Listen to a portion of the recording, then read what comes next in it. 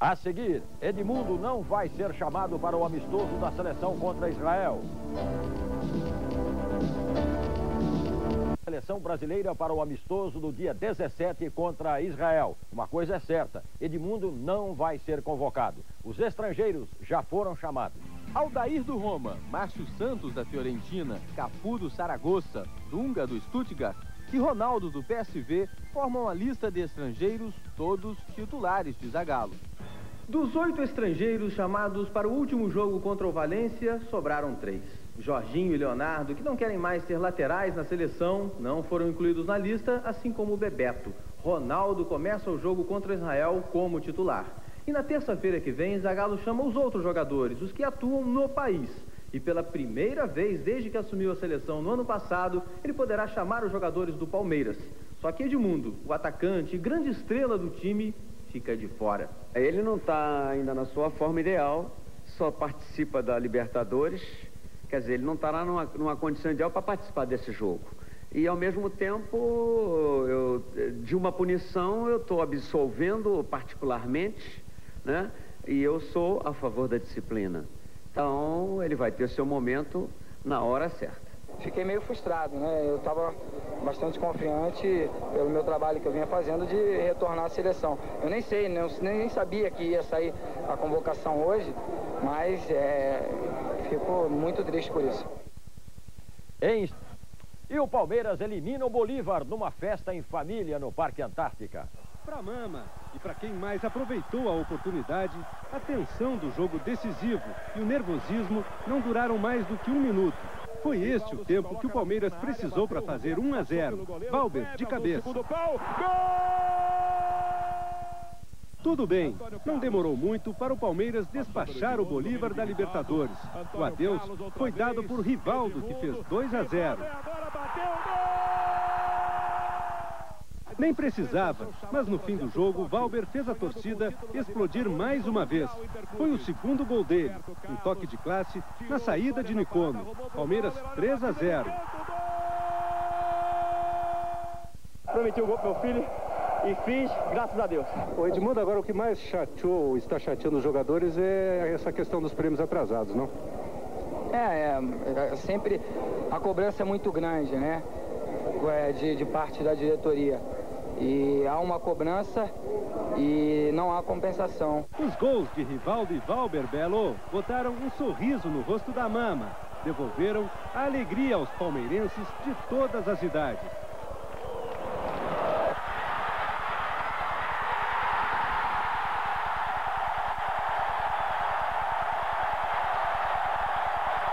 Rede Globo. Assista agora RJTV Primeira Edição.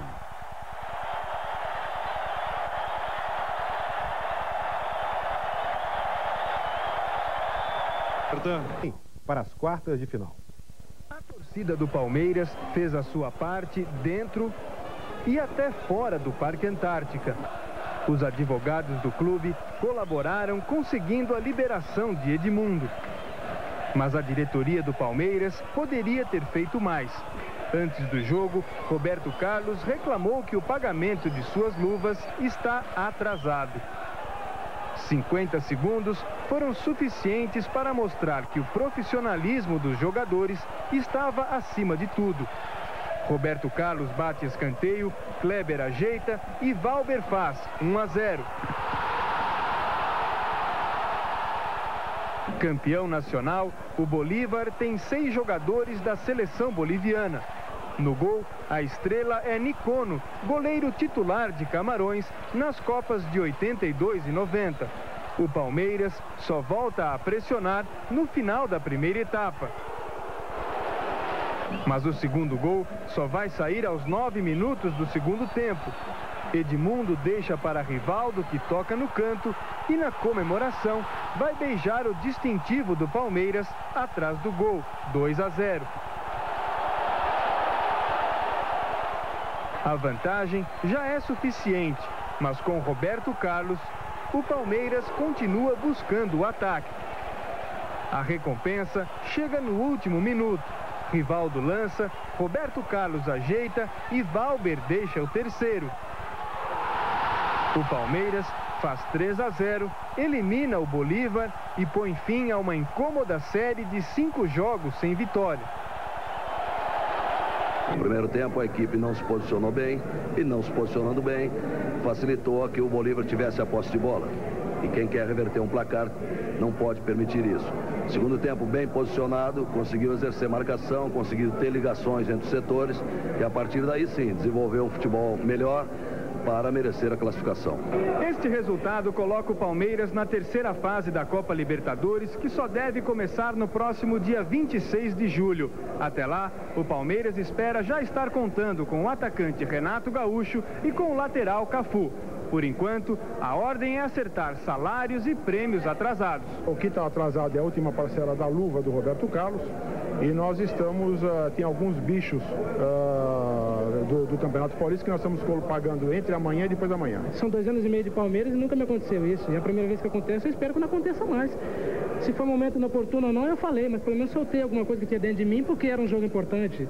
Eu falei no momento que eu achava. E se, a partir do momento que eu acho que eu devo falar, vou falar, porque é verdade. É, acho que é o momento que você tem que ter mais tranquilidade, mais, mais coerência e dar o outro lado para a pessoa bater. O Edmundo violento, desequilibrado, até que está mais tolerante dentro de campo. Mas fora dele, Edmundo continua o mesmo. Falastrão, o jogador não mede as consequências do que diz para exigir o que julga ser o seu direito.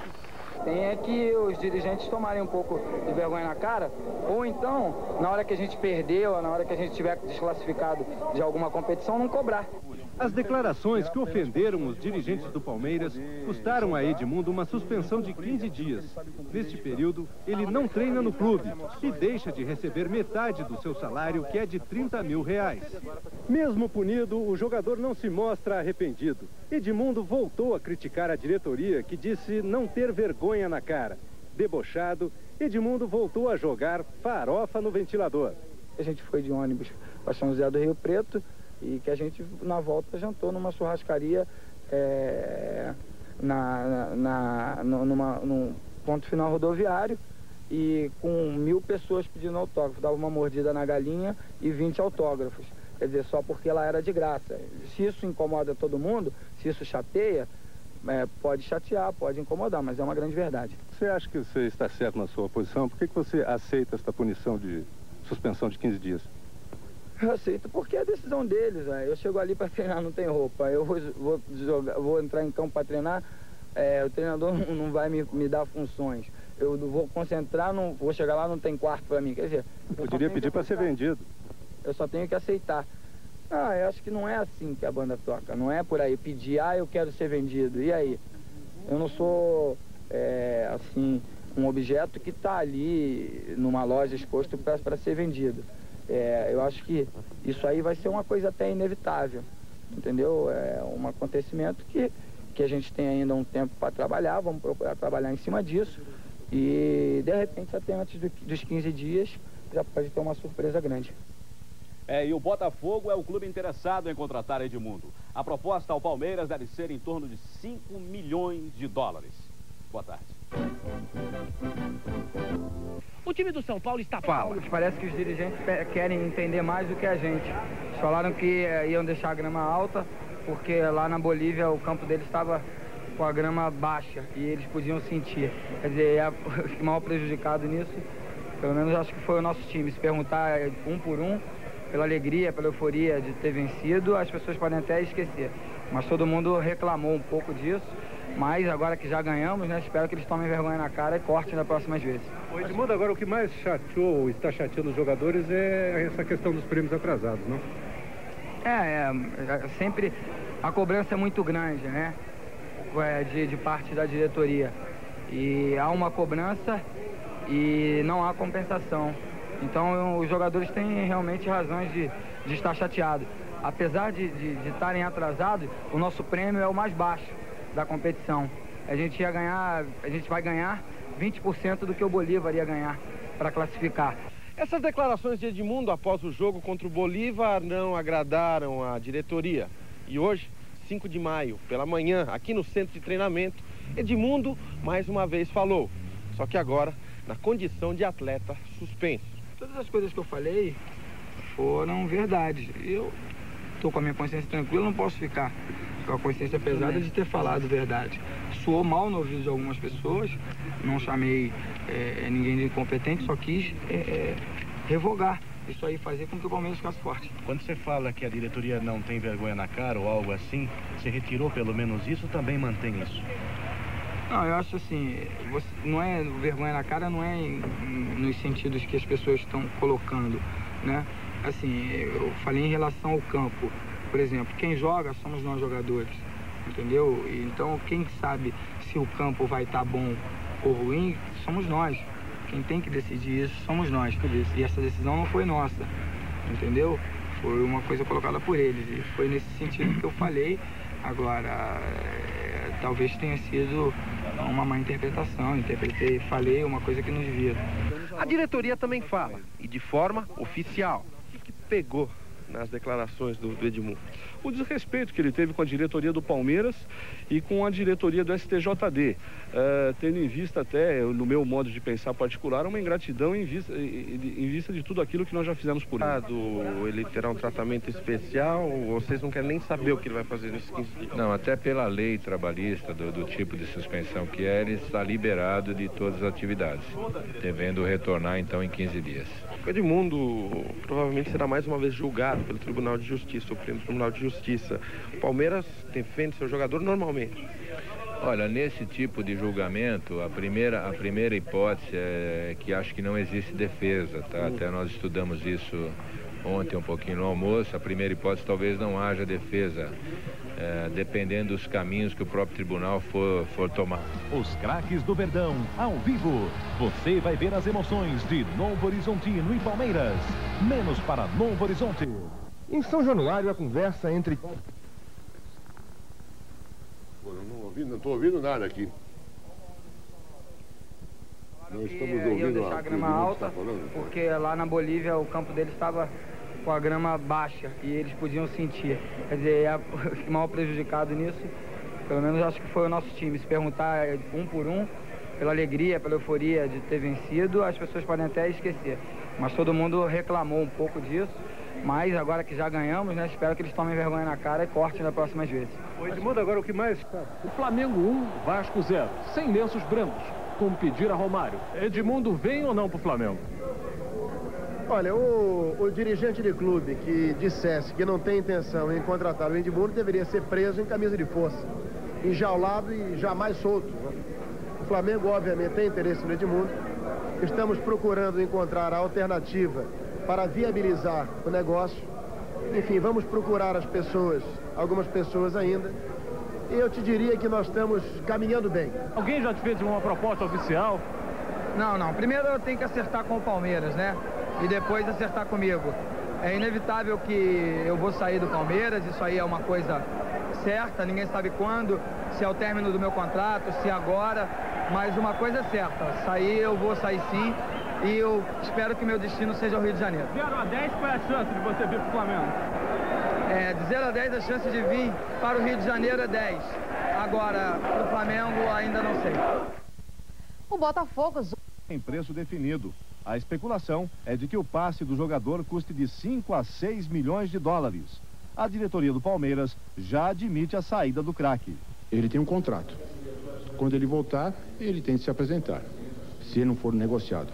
O Flamengo sonha com a dupla de ataque Edmundo Romário. O presidente do time carioca, Kleber Leite, não se assusta com o temperamento do jogador. Há quem comente que depois desta contratação, somando-se algumas que nós já fizemos, tem que contratar um camburão. A outra de que nós temos que fazer um plantão permanente da ministra da Igreja Messiânica, que o que já adotou o Romário, adotaria mais um, que é o Edmundo. Mas o mais importante é a colocação de que, com absoluta convicção, se porventura o Flamengo for feliz na sua tentativa, terá, não tenho a menor dúvida, o ataque mais poderoso do mundo. Conquistar. O técnico Zagallo completa daqui a pouco a seleção brasileira para o amistoso contra Israel. Devem estar fora da lista jogadores do Flamengo, Cruzeiro, Vasco, Atlético Mineiro, Corinthians e Paraná, que disputam a Copa do Brasil. Pela primeira vez desde que assumiu, o técnico Zagallo vai poder convocar os jogadores do Palmeiras. Edmundo, suspenso pelo clube, não será chamado. Edmundo está mesmo na berlinda. A diretoria do Palmeiras acusa o jogador de forçar a sua saída do clube. O motivo é a visita de Edmundo ao vestiário do Flamengo depois do jogo com o Vasco. Ele mostrou claramente que ele forçou essa situação porque ele não queria mais continuar no Palmeiras. E ele não teve a coragem suficiente para falar para a torcida do Palmeiras que ele preferia jogar no Flamengo, no Vasco, no Botafogo, do que continuar aqui em São Paulo. Sobre Edmundo, só temos duas verdades até agora. A primeira é que o Flamengo tem interesse em contratá-lo e a segunda é que ele quer jogar no Flamengo. E se o Flamengo estiver interessado, ele vai ter de fazer uma proposta ao Palmeiras e à Parmalat, eh, coisa que ainda não foi feita oficialmente. Botafogo, Flamengo e Vasco estão no páreo para trazer Edmundo de volta ao futebol do Rio. Os lances estão abertos. Uma boa tarde para você. Ao meu amigo que